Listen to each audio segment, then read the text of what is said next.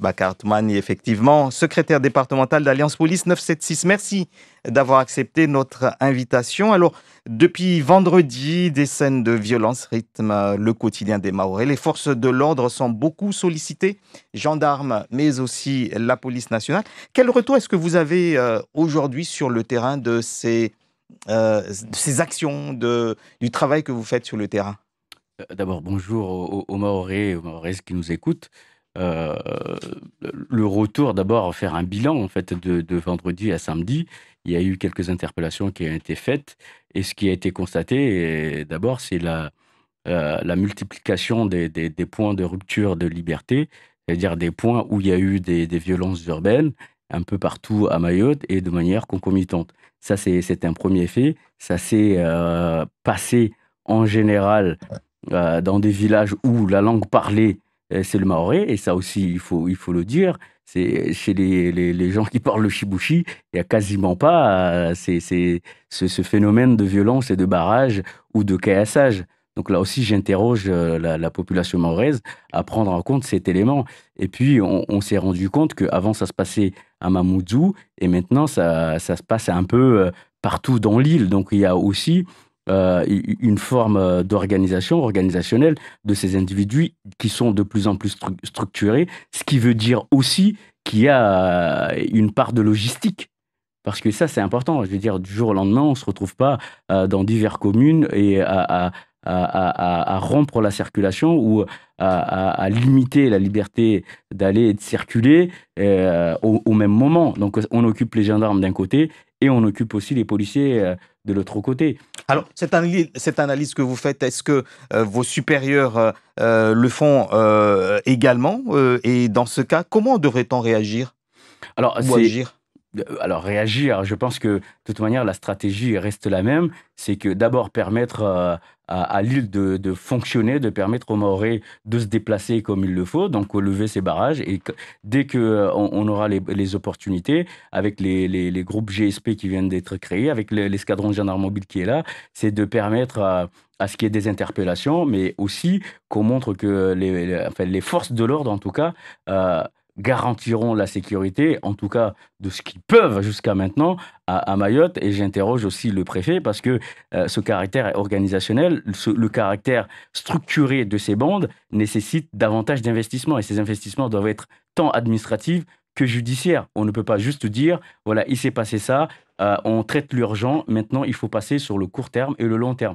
Donc il faut peut-être envisager euh, certaines écoutes téléphoniques certaines écoutes téléphoniques de ces, de ces jeunes euh, ou de ah ces bah, personnes qui organisent En tout cas, aujourd'hui, si on va sur les, les, investigations, il y a des hmm. jeunes qui ont déjà été euh, interpellés.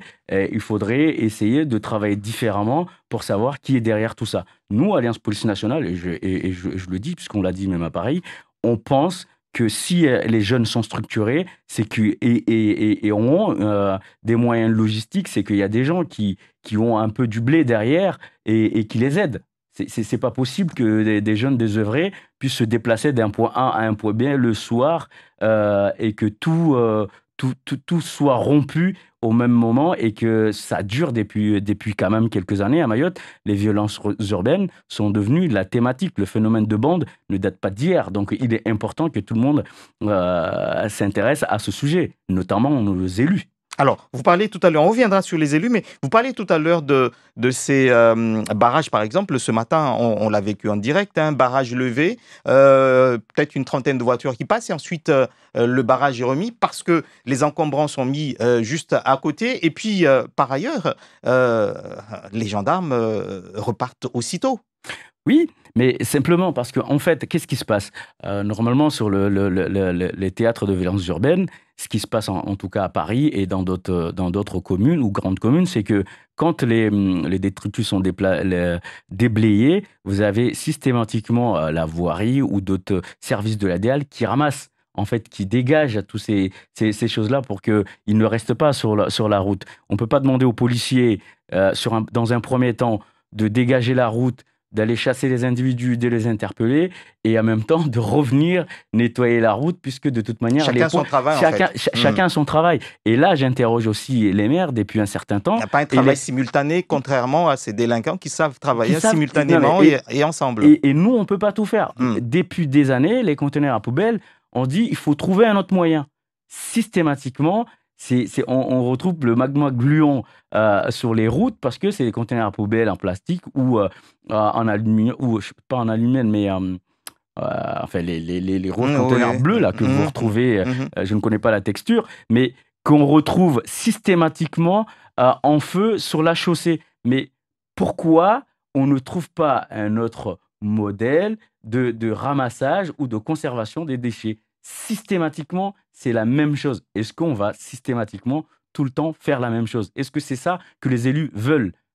Alors hier, quelques élus ont décidé d'organiser une rencontre euh, pour ce matin. Euh, qu'attendez-vous d'abord de cette rencontre?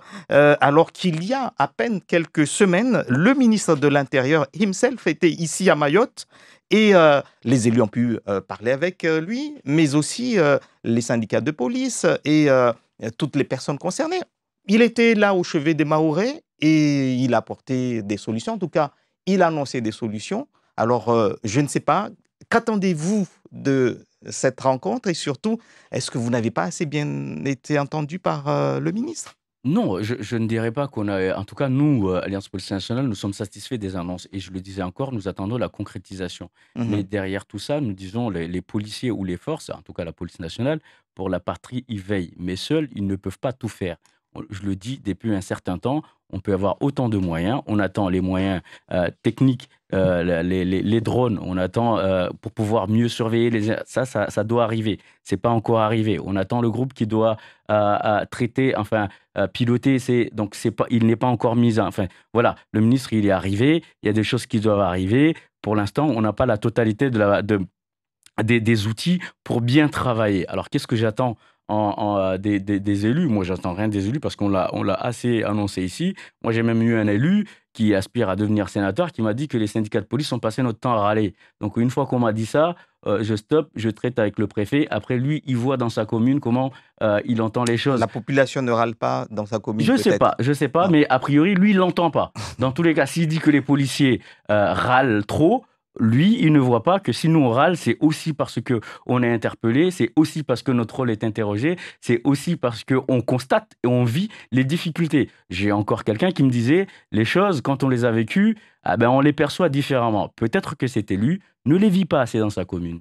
Avez-vous, euh, euh, vous avez parlé tout à l'heure de rencontre maintenant avec euh, le préfet de Mayotte. Justement, on attend également des décisions fortes du préfet. Euh, est-ce que vous avez des indices? Est-ce que vous-même, vous avez euh, euh, discuté ou interpellé le, préfet depuis vendredi? Alors, nous, dans Alliance Police Nationale, on a, écrit, on a demandé à ce qu'ils nous reçoivent. On a aussi saisi notre bureau national qui doit saisir le, directeur général de la police nationale, le ministre. Ce qu'on veut, c'est que désormais, on ne considère pas que c'est juste des phénomènes de bande, mmh mais qu'on considère qu'on est peut-être dans du grand banditisme des gens qui sont davantage structurés et qui souhaitent déstabiliser l'île. En fait, la, logique est très simple. Il y a peut-être un motif politique qui n'est pas évoqué et que peut-être que certains doivent, je dis bien peut-être, le prendre en compte. Les Mahorais ne peuvent pas juste rester et attendre en se disant ah bah, ça va encore euh, être débloqué dans 10 minutes, mais ça va reprendre dans, dans, dans 15 minutes c'est pas possible que euh, ça bloque euh, sur un point et dix minutes après, ça rebloque sur un autre. Et. En fait, on est en train de jouer au chat et à la souris. Il faut aller plus loin dans nos investigations. Euh, il était invoqué à, un moment aussi la possibilité et le souhait de, certains syndicats de police que des policiers, euh, des fonctionnaires d'origine de Mayotte, des natifs de Mayotte reviennent travailler dans le département parce que c'est aussi à eux de, euh, de créer de, euh, tout ce qu'il faut pour que le département vive bien. Ce serait une solution qui pourrait, selon vous, débloquer aussi la, la, la situation? Pas plus tard que la semaine dernière, on a appris également que c'était compliqué pour certains fonctionnaires de police de rentrer puisque les familles ont du mal à scolariser leurs enfants, euh, les familles euh, euh, sont un peu déçues de, de pas mal de manques également. L'attractivité Mayotte, ça concerne tout le monde finalement. Et, vous avez trouvé le terme, parce que finalement, on est sur l'attractivité. Et nous, Alliance Police Nationale, depuis un certain temps, on le dit encore une fois, on dit il faut être en capacité, il faut que l'administration soit en capacité de débloquer euh, les, les, les, jeunes fonctionnaires maoris qui, ont, qui sont expérimentés mmh et qui ont déjà travaillé sur le territoire ou qui sont à l'extérieur et qui souhaitent revenir. Parce que tous les jeunes maoris ne veulent pas non plus euh, rentrer. Il y en a qui préfèrent continuer leur carrière à métropole, passer d'autres concours, faire autre chose. Mais ceux, en tout cas, qui sont disposés à rentrer, il faut leur permettre de, ce retour.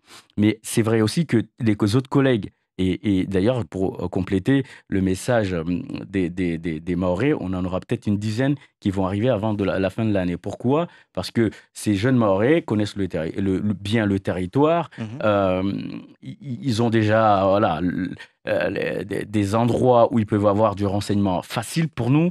Et en même temps, ils vont pouvoir guider nos collègues métropolitains qui arrivent ici. Donc, c'est vraiment un plus. Euh, pour les policiers. Il est vrai aujourd'hui que concernant l'attractivité, on a des fonctionnaires qui sont mutés chez nous, qui ont du mal à scolariser leurs enfants. Alors, euh, on ne peut pas réclamer euh, aux, collègues de, venir nous aider, mais en même temps de ne pas prendre en charge complètement leur famille. Alliance Police Nationale a d'ailleurs euh, avant l'arrivée de ces effectifs, interroger euh, l'administration sur l'accueil des effectifs. Normalement, toutes les garanties étaient réunies pour qu'il n'y ait pas de difficultés. on a quelques cas qui ne sont pas encore résolus, mais a priori, on est sur le bon chemin. Mais ça encore, c'est violence urbaine. C'est pourquoi nous, on monte au créneau tous les jours en disant c'est pas normal, il faut envisager les choses sur le long terme parce que on est certain que si c'est pas fait aujourd'hui, demain, il n'y aura plus de Mayotte personne ne voudra venir. Même les jeunes Maoris qui resteront ici, ils souhaiteront partir. Moi-même, d'ailleurs, par moment, j'y réfléchis. Donc vous vous rendez compte, alors que j'ai passé 17 ans en métropole, vous arrivez ici, vous dites, ben, j'ai des gosses, ils doivent aller à l'école, vous ne pouvez pas les scolariser, il y a rupture de, circulation tous les jours. S'ils doivent aller à l'école et qu'ils prennent le bus, le bus part à 4 heures ou 5 heures, donc il faut qu'ils se lèvent très tôt. Et ils ne sont même pas sûrs d'arriver à l'école parce que le bus va être cassé et qu'il va falloir qu'ils changent de bus euh, euh, dix 10 fois. quand vous dites ça et quand vous avez fait le bilan, vous n'avez pas envie de rester. Alors moi, je pense à ceux qui viennent aussi nous aider, euh, notamment les autorités qui sont là et qui se donnent du mal pour que ça fonctionne. rapidement, vous vous rendez compte que vous êtes seul. Mais pourquoi? Parce que bah, euh, vous faites ça, vous faites ça, vous faites ça, vous faites ça, et tous les autres disent mais c'est le préfet qui fait rien. Et depuis ce mm. week-end qu'il y a eu ces violences, euh, là, euh, on n'a pas entendu d'interpellation. Et à chaque fois que vous descendez dans les rues qu'il y a ce genre de violence, il y a très peu d'interpellations. Comment vous expliquez cela? Alors, c'est une très bonne question parce que je vous disais encore, alors moi je travaille à la BAC d'abord il y a eu des interpellations, pas le nombre que l'on souhaitait, il y en a eu qui ont été faits à Mgombani. Et je rappelle encore que à Mgombani, et je le dis ici, j'ai entendu le maire de Mamoudou qui félicitait une partie de la population Mgombani qui avait fait un travail remarquable sur certaines choses. Il y a aussi une partie de la population qui avait ouvert leurs portes pour il y a aussi une partie de la population. J'ai vécu. Donc je dis, Amgobani, là-bas que GSP ont été cassés et à tel endroit, des familles ont caché leurs enfants. Donc je le dis ici et je l'assume. Euh, à, à, ou à, ou à, c'est souvent des bandes de Tsunzu qui arrivent ou de Nyambotiti. Ça veut dire qu'ils viennent, ils se regroupent à un endroit, ils, se bagarrent, ben, ils sont à distance et quand ils nous voient, ben, ils se barrent. Donc il faut trouver aussi des, des, stratégies pour pouvoir en interpeller un ou deux. Généralement, quand les gens prennent la fuite, on va pas non plus les courser jusqu'à à, la campagne ou au champ juste parce qu'on a envie de les attraper. À un moment donné, il faut aussi que nous, on soit en capacité de se préserver. Parce que si vous avez des policiers blessés, ben, le lendemain, vous n'avez plus d'équipage. Donc, en fait, voilà, il y a, y, a, un juste milieu à trouver entre les interpellations, euh, les déblocages de de, la circulation et euh, la, mise en avant de toutes ces libertés.